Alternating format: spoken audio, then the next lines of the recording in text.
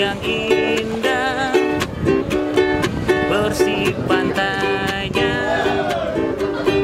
Gak ada polusi Dan korupsi.